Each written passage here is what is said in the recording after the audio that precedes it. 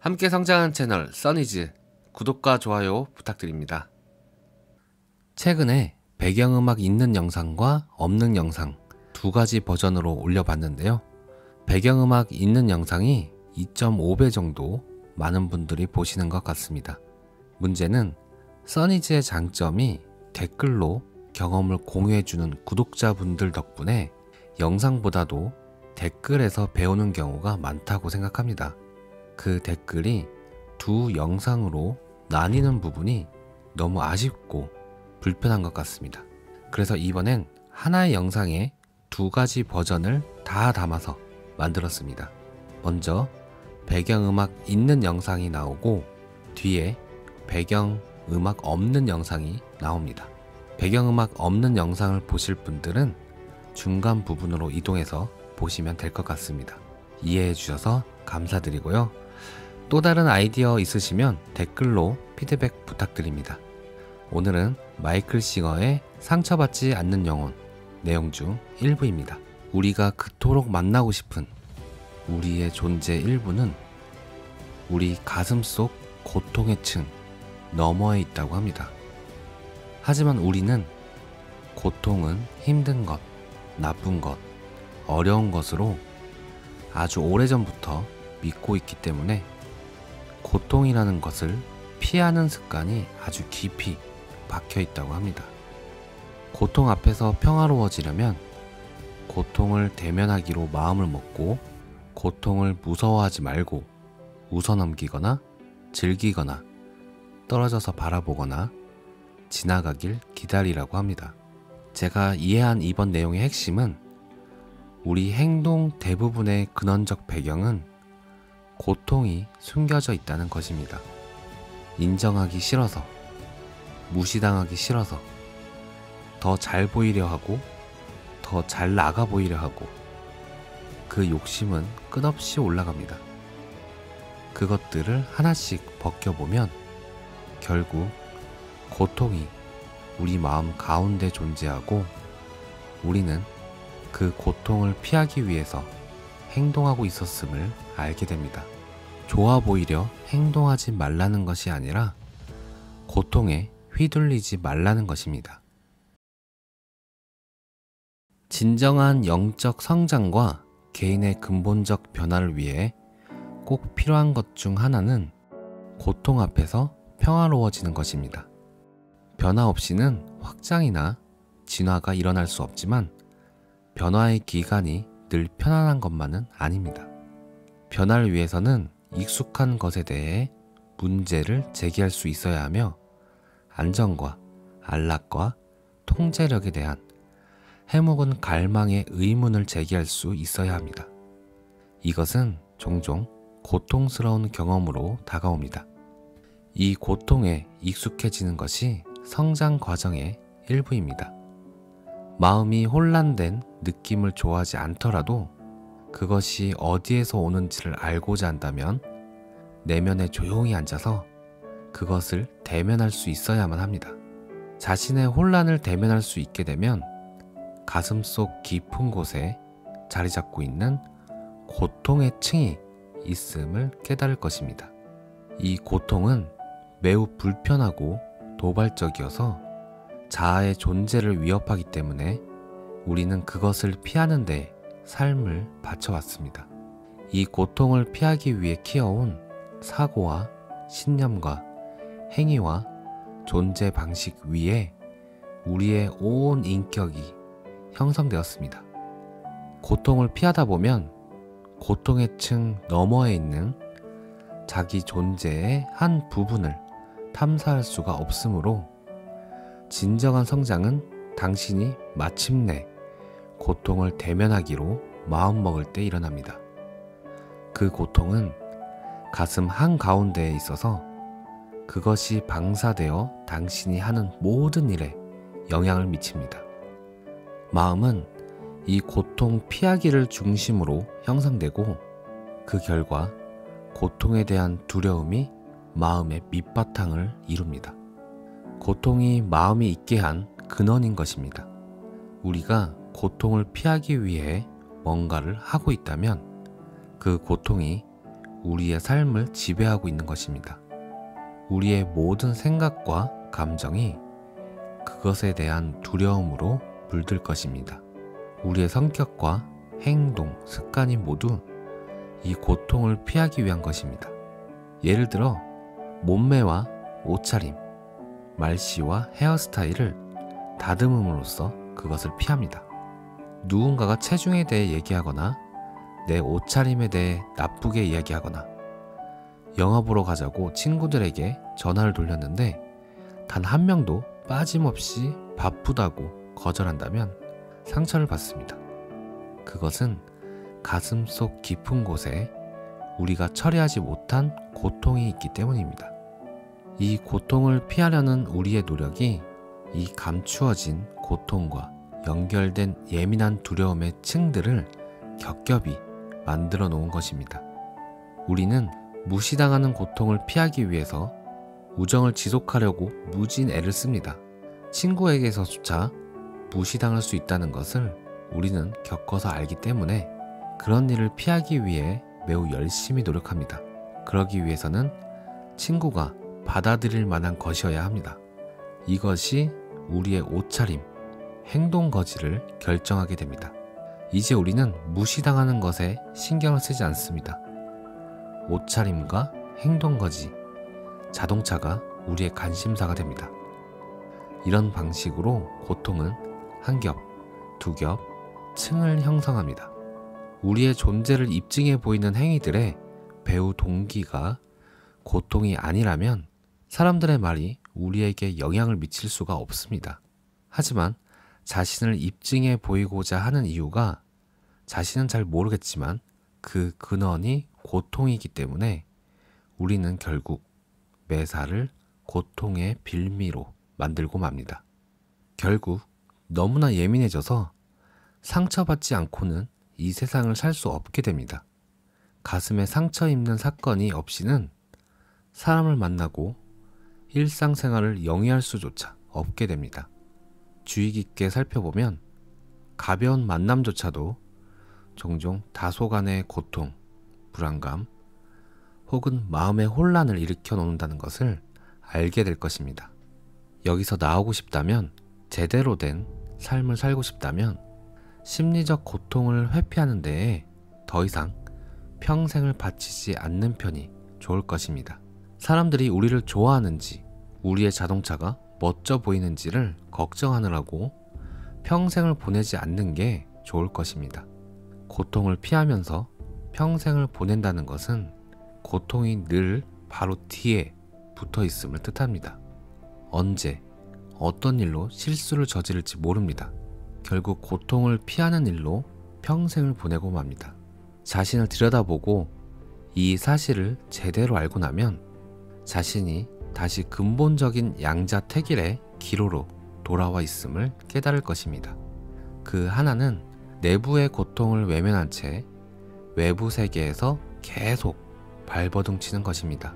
다른 하나는 내부의 고통을 피해 다니느라 평생을 허비하지 않으리라고 결심하고 그것을 제거하는 것입니다. 후자를 선택했다면 내면의 고통과 혼란을 겁내지 않기를 배워야 합니다. 그러려면 내면의 고통을 그저 에너지 흐름의 일시적인 변동으로 간주하세요. 누군가가 가슴에 불을 지르는 말을 할 수도 있습니다. 하지만 그것은 지나갑니다. 그것은 일시적인 경험입니다. 불안감을 느낀다면 그것은 그저 하나의 느낌입니다. 하나의 느낌 정도는 우리도 소화해낼 수 있습니다. 당황스러움을 느낀다면 그것도 그저 하나의 느낌입니다. 그것은 그저 이 세상의 일부분입니다. 시기심에 속이 탄다면 그것은 그저 가벼운 상처를 바라보듯이 떨어져서 바라보세요. 그것은 우리를 지나가는 세상 만물 중에 하나입니다. 그것을 웃어 넘기세요. 그것을 즐기세요. 두려워하지 마세요. 우리가 그것을 건드리지 않는 한 그것은 우리를 건드리지 않습니다. 오늘 영상은 여기까지입니다.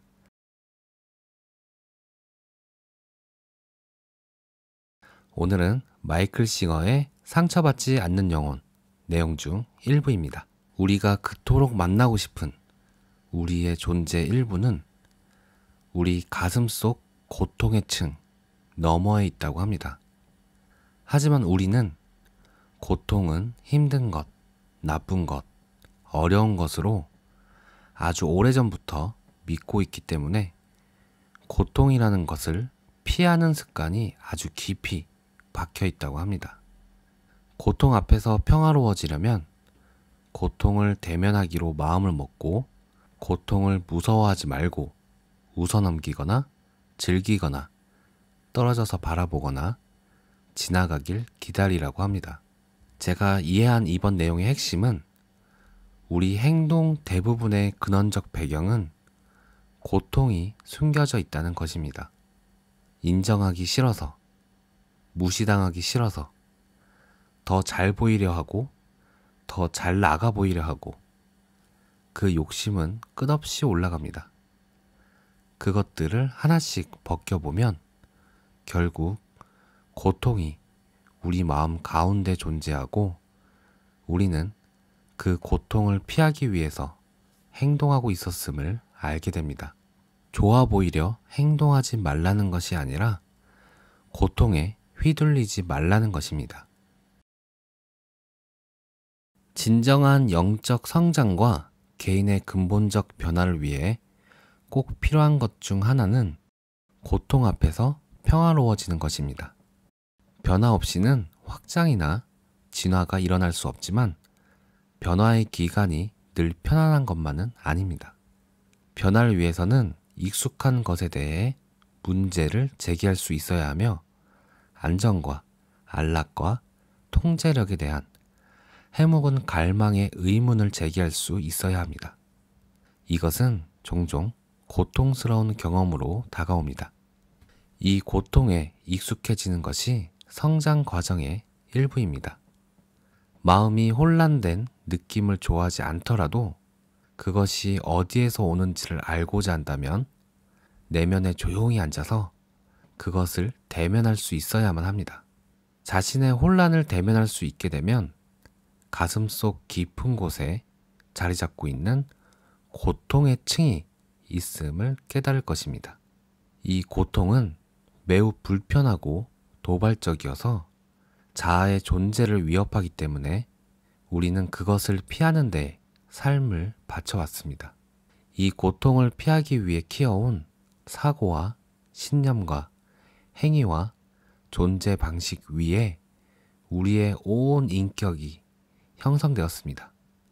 고통을 피하다 보면 고통의 층 너머에 있는 자기 존재의 한 부분을 탐사할 수가 없으므로 진정한 성장은 당신이 마침내 고통을 대면하기로 마음먹을 때 일어납니다.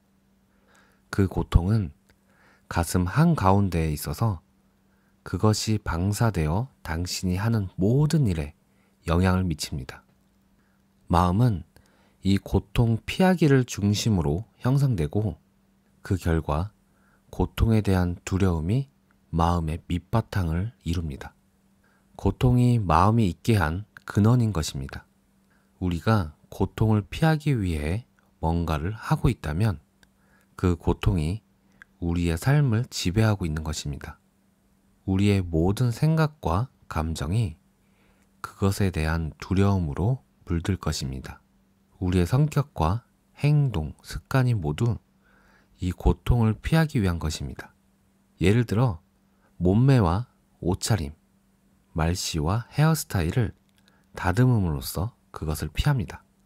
누군가가 체중에 대해 얘기하거나 내 옷차림에 대해 나쁘게 이야기하거나 영화 보러 가자고 친구들에게 전화를 돌렸는데 단 한 명도 빠짐없이 바쁘다고 거절한다면 상처를 받습니다. 그것은 가슴 속 깊은 곳에 우리가 처리하지 못한 고통이 있기 때문입니다.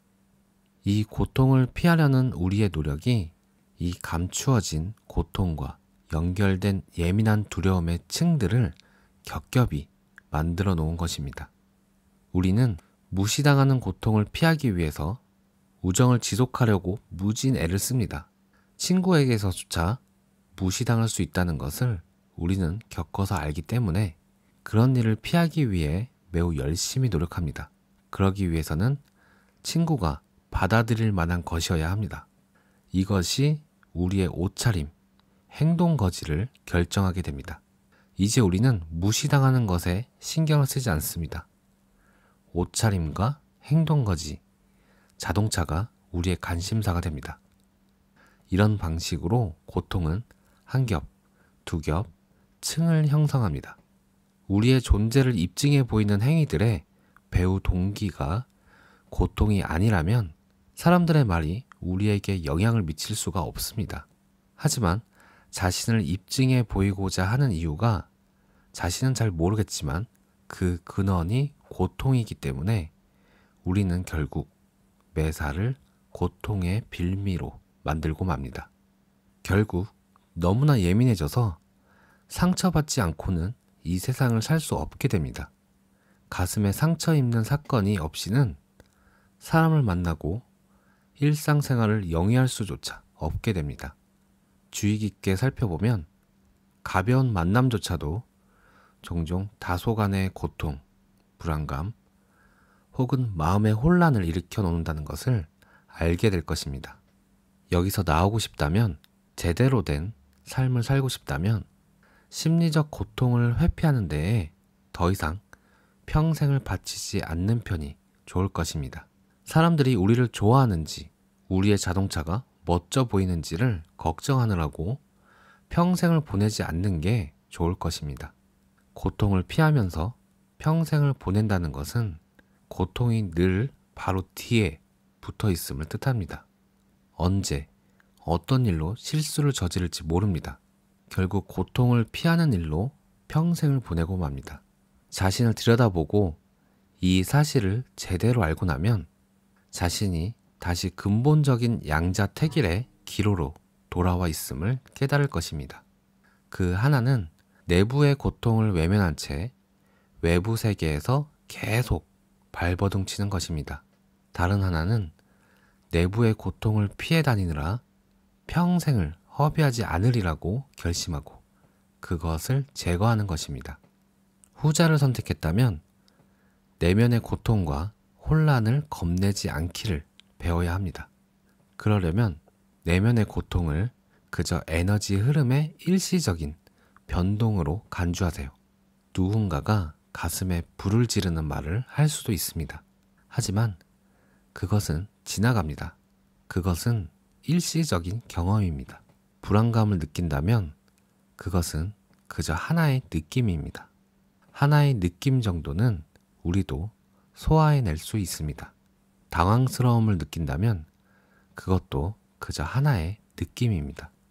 그것은 그저 이 세상의 일부분입니다. 시기심에 속이 탄다면 그것은 그저 가벼운 상처를 바라보듯이 떨어져서 바라보세요. 그것은 우리를 지나가는 세상 만물 중에 하나입니다. 그것을 웃어 넘기세요. 그것을 즐기세요. 두려워하지 마세요. 우리가 그것을 건드리지 않는 한 그것은 우리를 건드리지 않습니다. 오늘 영상은 여기까지입니다. 오늘도 시청해 주셔서 감사합니다.